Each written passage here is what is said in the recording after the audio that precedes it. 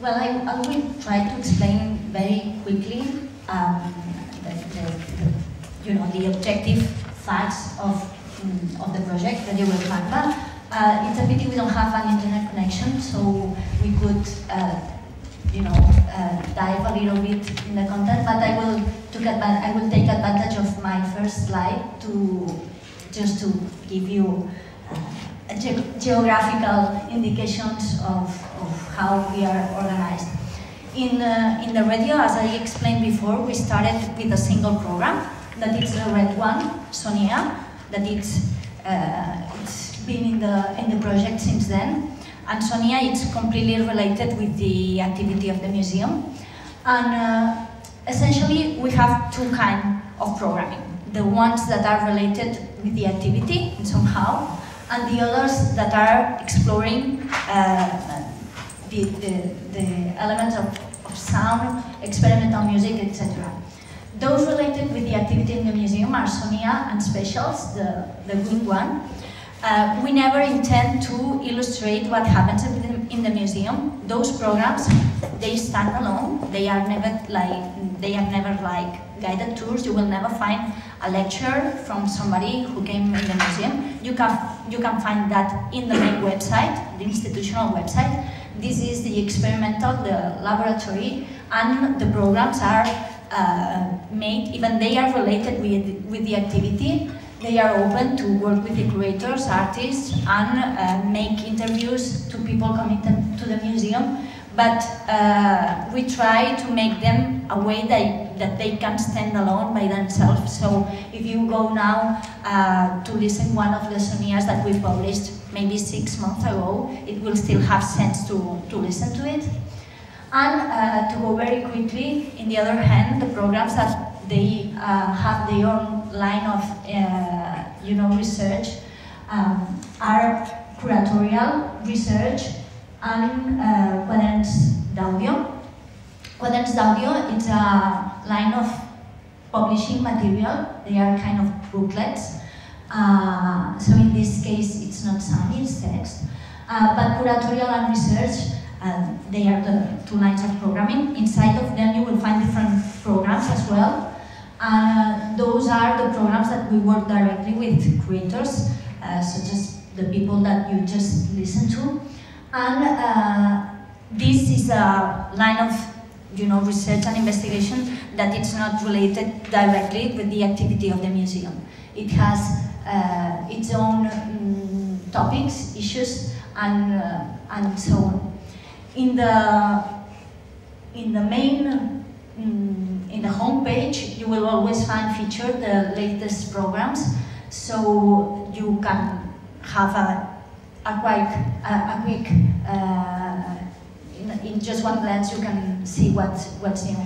Uh, we need to renew this website since maybe three years ago, but we don't have any budget for that. Um, actually, now I will go to the last uh, of my slides because I I have uh, some numbers to share with you. Um, we are, mm, we are posting um, about three or four programs or capsules per month. Uh, as I was explaining before, we have more than 400 published programs. Um, we have about 6,500, maybe lately about, let's say, 5,500 visits per month and uh, over 13,000 downloads. Um, our, our uh, users come from 19 different countries, mainly from uh, United States, United Kingdom, and, uh, and uh, Germany. Um, we have uh, social profiles in Twitter and also in Pinterest. And uh, in Twitter, we have a very strong community of, um, I mean, solid community, not some, with 4,600 followers. Um, and uh, in an institutional sense, we have one staff uh, member exclusively dedicated uh, to the project, that is Anna, and, uh, and me, who, who I'm not in my everyday life working on it, but it takes part of my responsibility mm, because some uh, critical situations inside the institution, maybe we can uh, talk about this later on. And, uh, and we work with about a group of 10, 12 freelance contributors uh, that go from creators to audio producers, uh, different kinds of, pro of profiles. And uh, this year, uh, our budget um, was it's uh, 23,604 euros. We were cut in a 40, in a, yes, in a 40, 100% last year. Uh, and uh, this uh, budget is uh, only for production and things related exclusively with the uh, content production. If uh, that's why we cannot renew the website, this is, and in case we need some equipment or something, we try to pay it from another budget and keep this one exclusively for the content production and the fees for our collaborators. And uh, this is more or less, do you think it's enough? Georgiana, yeah? Because um, this is more or less the object, objective, uh, you know, data about that, uh, about the project. Um, and maybe, I don't know, Max, where do you want us to start? do you want me to explain something more about the project? Any questions? You know, I, I didn't I didn't think very much about how to. Oh, then I. Yeah. so. Um, Is it okay? I, I unplug and unplug. Yes, sure, sure, sure. Yes.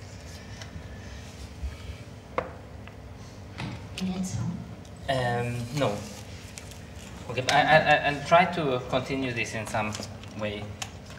Um,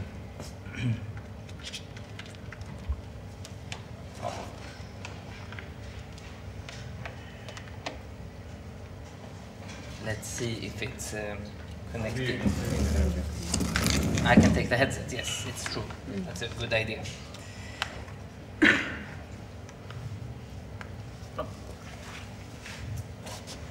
Can I, can I see the headset for a moment? Oh, sorry. Of course, I'm Oh, happy to to not be Madonna Sh- Sharing is caring. Yeah. say. Okay, so I'm Max Valentin. I run a small agency called Fabel. And uh, I'm here to talk about how a pod can be used within the institution. And uh, so it's more of a generalizing this experience maybe in some way. So, my and why I talk about this is that with uh, the Fabel company that I've been running for 12 years, we've been interested very much in the digitalization of the cultural landscape and participatory culture. We run different projects, one called Crowd Culture, that is about uh, co public co-funding in crowdfunding.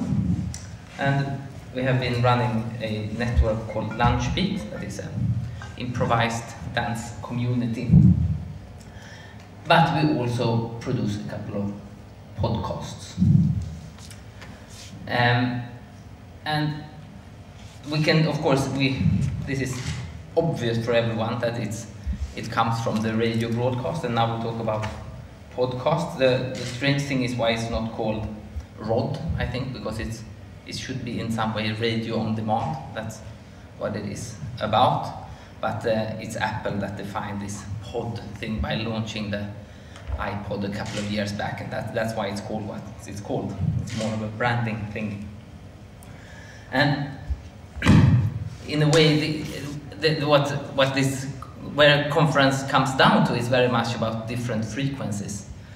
Um, and the, the, one of the few differences between podcast and radio is on the what bandwidth they are on.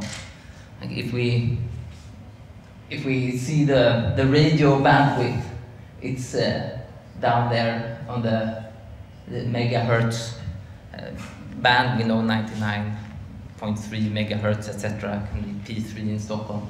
Whilst the pod is distributed slightly below the visual light.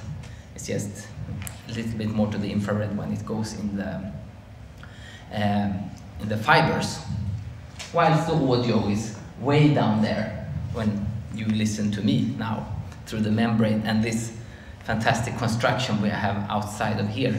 The, the waves are, I read, 17 kilometers long.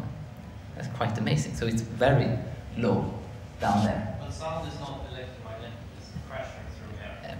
Uh, oh, but it's wavelengths. So we have both on, on this we have both wavelength and the the elec- and the frequency. So, but it, it's comparable in wavelength still, wouldn't you say? Yes. So, but they go cross. Okay, this is not a physics lesson.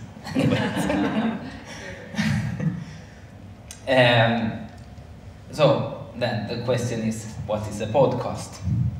Um, and to me anyway, and to many I've seen online defining it, it's a it's a series of audio files uh, in MP3 format that can be downloaded and that are recurrently updated and that you can subscribe to through some kind of uh, software.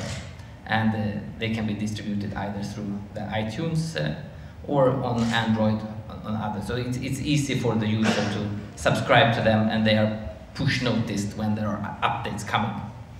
And so it, it's, it's a way that you can create some kind of relationship to the listener. Uh, and it's upon their demand, not on the push, that defines uh, when the listening situation happens. And from a museum point of view, I, I find it very interesting. I've been, uh, for over the last year, I've had this mobile office. I've been moving around in Stockholm in, in 24 different office spaces with my uh, a piece of furniture that I built that I called the Trojan Bureau. And uh, two weeks ago, we were at the Technical Museum, and we were actually sitting across uh, to their radio studio that they have there, where you can today record podcasts, but before it was more of a focus on amateur radio. And, but what the podcast has done in a way is that it has moved the radio out from the Technical Museum and into other museum spaces uh, with more focus on, on content, I would claim. So one of the, the bigger podcasts is from Victoria and Albert, which is talking about museum development and their different exhibitions. And as in, in your museum, you have five different programs that are running, and it's very little technical focus on, on this. The, the radio idea is sort of already there. It, it's not a technical thing. So we can very easily do it ourselves. And the, the big question is, is not this technological aspect and the, the frequencies and wavelengths. It's rather the purpose of why you do it that is the challenge for you as a, as a creator of a podcast. Um, so I made a, a list of some different answers that people have been given to why they created the podcast. No, sorry, different order. First, it uh, what does this, what can a podcast do for your institution, and where in the media mix of different medias uh, does the, the pod suit? So if we would say that there is some kind of engagement ladder that the, the audience can sort of tap into your institution, deeper and deeper into your institution, your, your first meeting with the audience will be through some kind of mass media that is uh, a newspaper pushed in some way and they, they might not even know of you. Uh, and a little bit higher up in the hierarchy, people will watch your YouTube channel or some kind of uh, ad that you place. And if they like it, they might uh, subscribe to your Twitter channel or your newsletter uh, or take the catalog that you have even more engaged behavior would be to go to an event that you create or take a guided tour. Whilst podcast is even higher up on this uh, engagement uh, ladder. So it's not a tool of marketing, it's rather a tool of uh, deepening engagement. So th that's where we should see this. You will not get new audience by this in most cases it is the same thing as being almost a member of the museum association. But it can still build, strengthen the relationships, strengthening the brand, give legitimacy in the same way as a yearly book gives you legitimacy. It's something you can send to your politicians and uh, civil servants. But it can also initiate um, development dialogue within the institution, and we will see examples of this. So, some different types of podcasts. So one very common is a, a conference podcast that you, without editing, just record a talk, a seminar of some kind. And, and the, in Magasin uh, Tre, in the art hall in Stockholm, they've been doing this for many years, probably the longest running uh, pod series in Sweden from a cultural institution. And, and they don't do anything with this. They, they start recording at the start of the seminar and they press stop in the end and then they push it online. Um, and maybe it doesn't have very many listeners, but it uh, is probably a very dedicated crowd. As if we we see uh, Sjöhistoriska, the Maritime Museum, they have more of a knowledge pod. They use their researchers to package their some content around maybe submarine or a special ship and it's much harder edited. They have in, invested much more time in there. It's, it's more similar to educational TV or educational radio. Um, and they are sort of you. They are. I, I, I guess I, I wouldn't know. I don't work there, but I guess they uh, finance this through the the assignment of getting information out to the whole country and not only uh, to have it for the users that come to the institution. Another rather common type of um, pod is the sector pod, or in Swedish I would call it branschpodd. Uh, the, uh, one example of this is Riksutställningars podd, uh, Utställningssamtal, but it, it's many different uh, sectors of society that has a, a metapod talking about the development of them there is one about folkbildning, for example, um, that is looking at the political changes and so on. It's niche market, maybe a couple of hundred listeners per pod, but since it's rather cheap to produce them, it's worthwhile. One slightly strange pod uh, is the support pod, and it's this this one is from a, a, a bank SBAB. And they got very many repetitive questions about how to sell and buy your apartments and so on. So they decided, okay, since we say the same thing in telephone over and over again, why not make a pod about it? So they have created a, a support pod. Um, and the Taxi Stockholm, it's a taxi company, they have an internal pod for their co-workers. They have 3,500 taxi drivers in Stockholm. Uh, and the taxi landscape is constantly changing. They are building a new taxi terminal at Arlanda Airport. Okay, how does this work? Uh, do I need to check in before? What are the tariffs they change? So they have a, a news pod that is purely for Stockholm-based taxi drivers. And you cannot listen to it if you are not part of their intranet. So it's it's not for the general audience, but they find it worthwhile having a updated and uh, updated news channel that is audio based because it suits their user base very well since they are waiting in their taxis now and then. And so audio works very well. And then I, the, I guess radio, the experimentation of uh, pods is happening rather much in the format of either snapshotty things that you have temporary time of time frames when the pod is accessible, or by geo-positioning that you can only listen to this in a specific place. This is a pod made by uh, Joakim Rindo at uh, Riksteatern, and it's about um, gay meeting spots in Stockholm. So, but you have to be on this very specific uh, geo-positioned place to be able to access the, the pod, and then you can listen to the dialogues. And this is done by the special app. It's, it cannot be listened to through iTunes because iTunes cannot geo-position you. So it, it requires a little bit of other management. Otherwise, the technology to do this is, is very standardized. You need your microphones, you need some kind of mixing device, and you need to press rec to get it into your computer and edit it. And you can edit uh, very cheaply, and I, I, would recommend Audacity. It, it's a freeware, um, and it's one of the better to, to use. It has its limitations, of course, but um, it's very easy to use, and uh, it's a, a, quick way of getting started.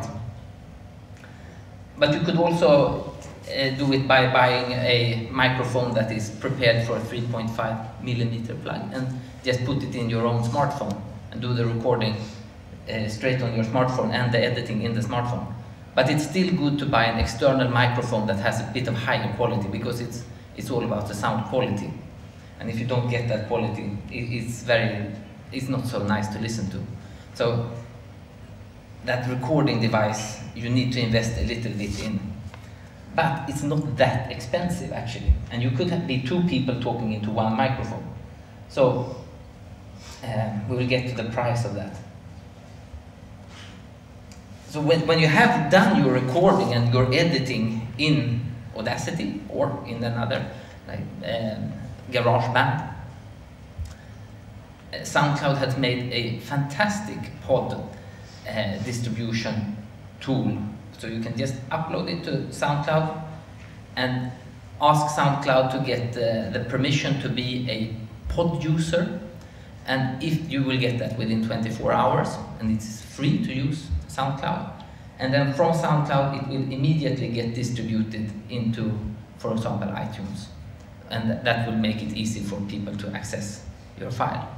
So you, you can almost do this uh, without adding any costs. and one of the cheaper microphones that is still of good quality, that is uh, uh, compa compatible, compatible with iPhone would be cost from 170 euros. Uh, and if you need four microphones and a little mixing device, Uh, if you put 1,300 euros, including VAT, you, you will have a, a, a great kit for recording and then it's more, the bigger question is rather, what's the purpose? Why do I do this? That's a very important question to ask yourself. That's it for me. I mean, we heard that MACBA has a professional journalist working with the content part.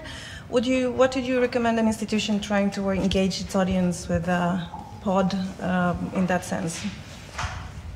About I mean, when it comes to producing the content. Is this relevant to have someone um, with that background, or yeah. would you just uh, recommend them to press play and then, or record and then? Um... But it, it, depends on what, what the purpose of, of, of the, the thing is, because if it is to, to disseminate knowledge, I think it's, it's better to have the pedagogues sitting down with the researchers and trying to, okay, how do we package this so it becomes interesting? But of course, a, a science journalist could maybe help in one type of museum or a curator in another. But, um, but, but, but if it is about sort of more critical things, maybe a journalist would, would do a very important job. It, it, it, it would connect to your purpose very much who, who does it. I think I think the key point is to have a good story. I mean, I don't know if it's necessary or if it's mandatory to be a journalist, but you need to be a storyteller. And uh, and first of all, comes the story, and after that, the medium you use to uh, share or spread spread it. So, in this sense, I think that for us, uh, when we started the project, we had stories to share, and Medium was something that helped us in a, to, to, to spread them in a different way, um, or in, in, a, in a way that we didn't used to.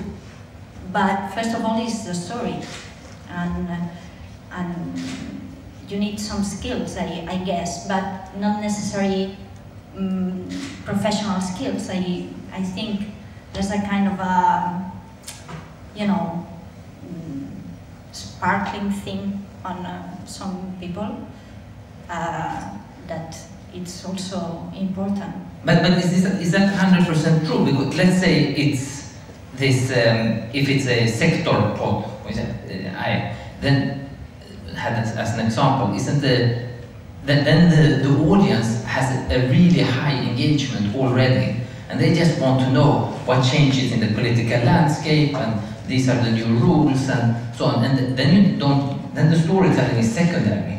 But of course, if you have a, a wider audience that is a more traditional museum visitors, then of course the story is super crucial to get the people to, wow, I want to be part.